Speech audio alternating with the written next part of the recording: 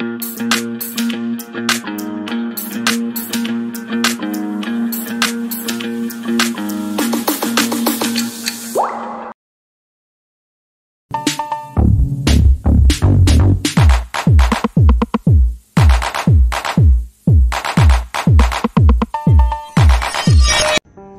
you guys, Embera Sinunji, Embera Sinunji, nothing is okay at all. Everything is bad. Everything is bad. I hear some of these medics and some of these elites in Uganda are now making noise telling Despot Museveni to lock down Kampala because of this thing we call Ebola. I think these guys are very far away from what we call realities on ground. You don't know what people are going through, the assholes people are making these days to make ends meet. In this economy, where they start, the, the cost of living has tripled, not only doubled but tripled.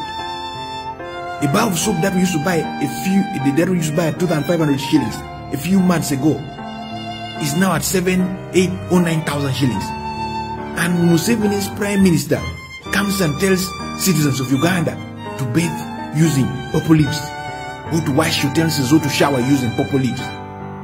And Despot Museveni even comes and tells citizens of Uganda, if you find the prices of bread expensive, go and go, go, go, go, and go and eat cassava.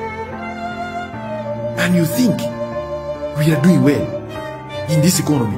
For you, we are doing well because you are using taxpayers' money to facilitate yourself, to even to, to finance this bigodo boy to move around and, and, and, and be conducting trips, like rallies, and all those stuff. Instead of injecting that money in the health sector, cancer patients are floating in Mulago.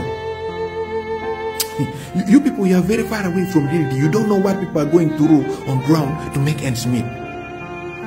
We are just recovering from a COVID 19 pandemic lockdown where Despot Museveni locked us up, eh? made, he, sent soldiers to streets to come and batter people. He frustrated business. Very many businesses collapsed.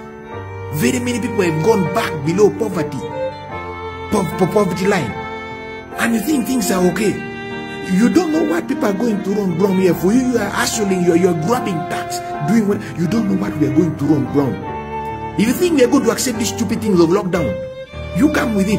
We shall accept to die in the streets now.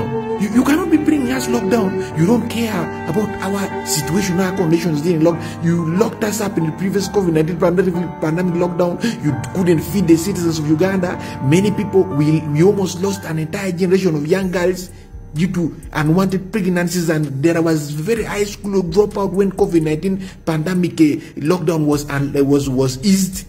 Eh? And you again want to take us to another lockdown because of uh, Ebola.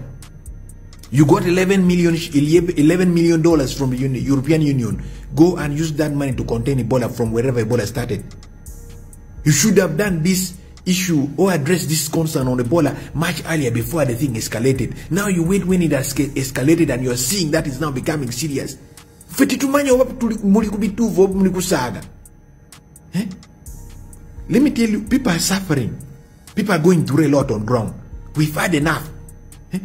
If you think you're going to fight for us more problems, that is not going to work. We are going to, to defy